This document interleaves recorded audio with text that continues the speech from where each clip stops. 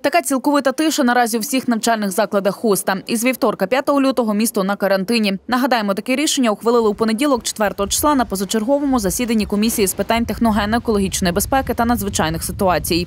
На підставі інформації з е, охорони здоров'я е, Хуського відділення, на підставі моніторингу е, щодо відвідування учнями загальноосвітніх навчальних закладів та відвідування вихованцями дошкільних навчальних закладів. На підставі тих всіх даних, а дані у нас були досить не, не, не хороші, так, так би мовити. Тобто біля 50% вихованців не відвідували дошкільні навчальні заклади.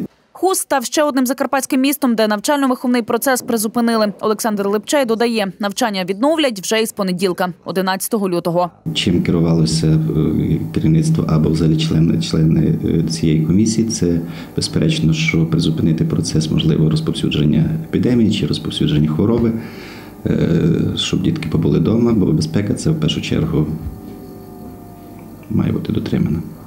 Вчителі кажуть, канікули ці були і справді необхідністю. Учні, які хворіли, відставали у засвоєнні програмового матеріалу, і це створює певний дисбаланс у навчально-виховному процесі у цілому. На минулому тижні почалося масове захворювання. У мене, наприклад, у нашому четвертому Б класі у п'ятницю вже аж 10 чоловік було відсутніх з причини хвороби. Ми прийшли у понеділок на роботу і деякі приходили вже після хвороби, але більшість ще далі продовжувала хворіти. І Ми були змушені вирішити це питання, що зупинити весь навчальний процес у школі. Може так, діти. Ті, що не хворіли та не захворіють, а ті, що захворіли, та постараються, як казати, буде можливість добре їх вилікувати. У відділі охорони здоров'я також прокоментували епідситуацію на Хущині. Тут запевнили, що підпоріг наразі не перевищений та розповіли про рівень захворюваності як на ГРВІ, так і на КІР у місті та районі. Загалом по району у нас е, за е, минулий тиждень 313 випадків е, захворюваності на ГРВІ. З них е, 14 випадків кір, але йдуть по різному віковій категорії населення. Більшість група вікова категорія населення це є діти, які хворіють вірусними захворюваннями. Кір менше.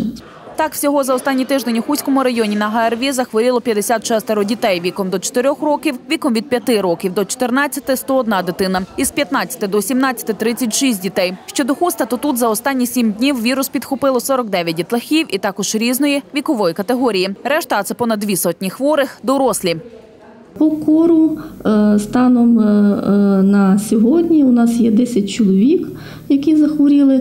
Дітей з них лише йдуть п'ятеро і п'ятеро дорослих, е, в тому числі одна дитина до року. Двоє міста йдуть і плюс район, бо в більшості у нас іде тенденція спостерігається е, захворюваності е, локально, іде більше сіл Горінчево, Драгово, Золотарьово, Монастирець і десь місто Хуст.